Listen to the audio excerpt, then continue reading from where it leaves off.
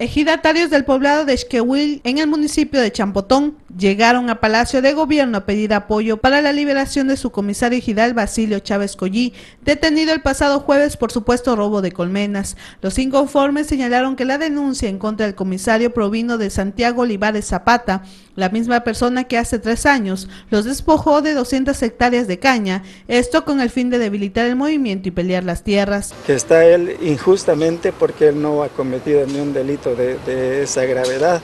Este, lo, están lo detuvieron, dicen que por robo de abeja.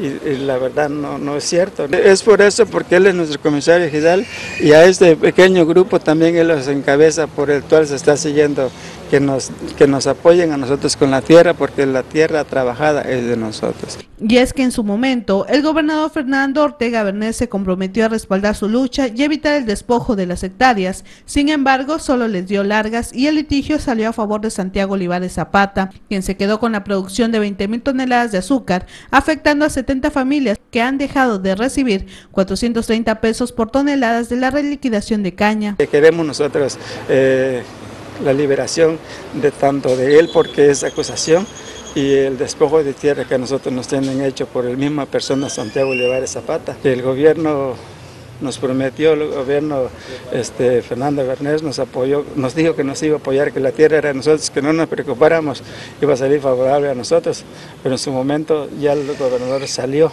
y no nos apoyó. Señalaron que las tierras les fueron otorgadas en los años 80 y se asentó en los documentos de la Secretaría de Desarrollo Agrario, Territorial y Urbano. Sin embargo, esto no fue suficiente para que fueran despojados de las tierras producidas.